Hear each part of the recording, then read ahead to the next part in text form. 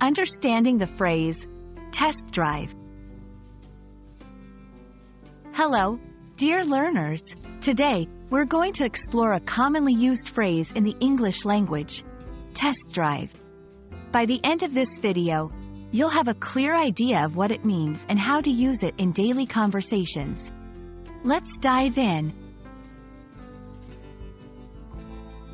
When we hear the words test drive, the first thing that might come to mind is cars. In its most literal sense, a test drive refers to driving a car or another vehicle before deciding to buy it. This allows the potential buyer to 1. Experience how the car functions. 2. Check if there are any issues. 3. Determine if they're comfortable with its features and size. For instance, if you're at a car dealership, the salesperson might ask, would you like to take this car for a test drive? It means they're offering you a chance to drive the car to see if you like it. The phrase, test drive, is not limited to cars. In a broader sense, it can mean trying out something new before making a commitment or decision. Here are some examples. 1. I want to test drive this new software before purchasing it. Trying a software's trial version. 2. They let me test drive the guitar at the store. Playing a guitar to see if it feels right.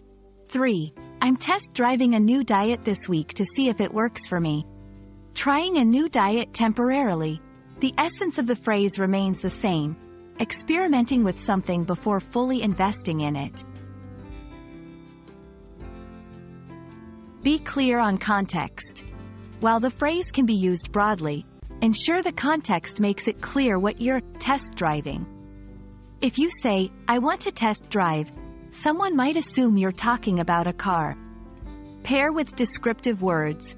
To avoid confusion, you can add an adjective or noun. For example, software test drive or guitar test drive.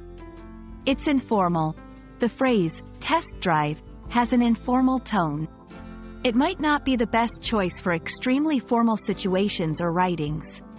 However, it's great for casual conversations. And that's a wrap on Test Drive.